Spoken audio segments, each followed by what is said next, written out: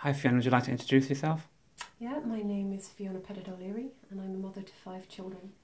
Um, two of my children are on the autistic spectrum and I also have Asperger's.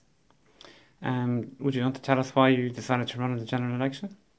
Yeah, of course. Um, I'm running in the general election as an independent candidate because um, I've basically had enough of our government today ignoring the inequality that is ever growing in our society towards those with a disability, the autistic community, their families, and their carers.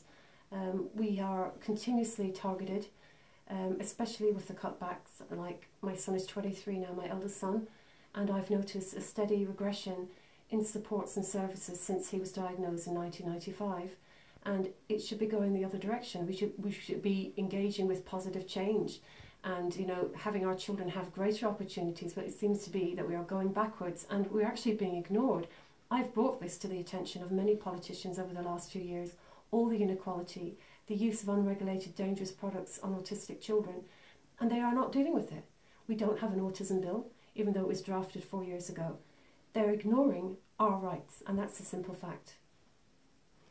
So, what do you support? I support the Disability Federation of Ireland and I support their campaign Disable Inequality.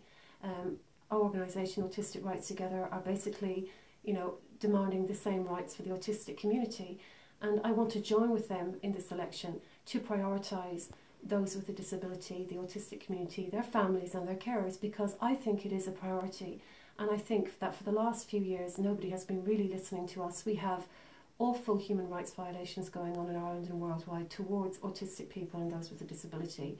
We have restraints and isolation rooms in schools. We have the use of these dangerous unregulated products like MMS, which is actually a bleach which is being used as a cure-all for autism and other conditions. This should not be happening in 2016 It's absolutely crazy and it's not acceptable. And even though, you know, we get emails and letters back from those that are, you know, responsible to make change, they're not actively doing anything. Um, I have spent hours of my time writing and ringing and begging politicians to listen to me, to listen to the rights of the autistic community, and nothing has been done to date. I can't even secure a meeting with the right people that I need to meet to address these issues. There's an arrogance there and they're getting away with it. And it's time that we stood up and fought that arrogance and tried to make changes ourselves. So I'm really proud of uh, the Disabled Inequality campaign, and I think it's a wonderful opportunity for all of us to come out, um, not just those with a disability, but everybody out there with compassion in their hearts to fight for justice and for positive change uh, for the disabled in Ireland today and for the autistic community, their carers and their families.